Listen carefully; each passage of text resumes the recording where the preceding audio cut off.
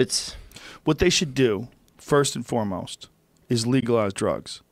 And the reason being is that they're getting across from organized crime and it's building organized crime in Mexico to a staggering degree. The drugs are here. People are selling these drugs, period. They're going to keep selling these drugs. You're not going to diminish the amount of drugs. You're just not. yeah. No one's ever been able to do it. The drug war is a complete total failure. People so how love do you, coke. They love coke. So make coke legal. You would put a fucking halt to so much. And if you made coke legal, people would buy pure coke. Mm-hmm. You would it would be tested and you you could give people drug education cuz like everybody knows, okay, how many beers can you drink? If you drink 3 beers, you probably shouldn't drive a car unless you're a giant. Mm-hmm. Yeah. You know, like 3 beers, you're probably over the legal limit. Unless you're a bear. huh? Right. Unless you're some seven foot tall gorilla type man who's just uh, got a lot of body.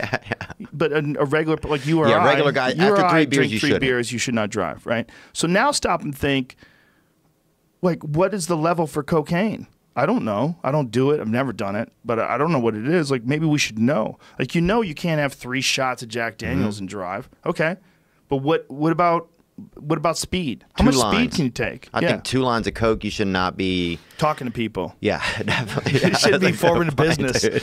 Should be fucking calling an architect. Dude, one of my buddies tried to put all of his fingers in his butt one time after he did like an eight ball of coke. How crazy is that? No. It's a good this- goal. But I was just saying, so look, and it's hard apparently to do. Apparently, And it's they used to have a name for it. What was that called? fingers in your butt. Yeah, it was called something. It was like called uh, clapper? the Liberty Bell, or something, some crazy thing. But um, Jamie's googling it. what is it?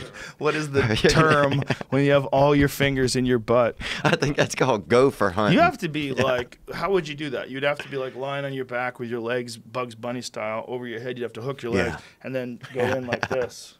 and dude, You you, have to be super flexible to pull that off. and you're gonna. The crazy part is, and I've just I haven't thought about this a lot, but I have thought about this for a little mm. bit. You're gonna start with your smallest fingers, and then you're gonna be stuck with those thumbs. That's what you're gonna be trying to get Oh at the yeah, end. that's gonna be the hard part. Yeah, you're gonna rip your asshole apart yeah.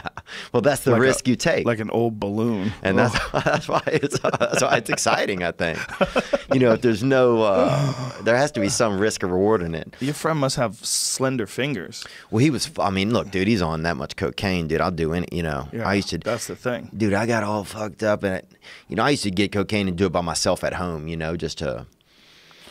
I don't know. I wasn't doing that good. Just to have some feelings, and I remember, dude, I would order vests and shit off the internet. I have like, Like a, what kind of vests? oh, all kinds. Like the kinds that we would wear if you lived in Boulder with them the down-filled ones, uh, Patagonia type vests. I've done right? some.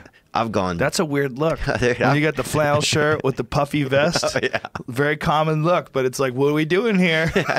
well, I want to be warm, but I want a little, little bit of ventilation in my arms. Uh, Just a little chill, uh, just a little, little warmth around my body, though. I like my torso to be warm. I'm talking all. I'm talking all kinds, bro. I would get the leather. I would get the ones with the bead. I mean, I have like a. Hmm. Honestly, I have probably about 30 vests at home.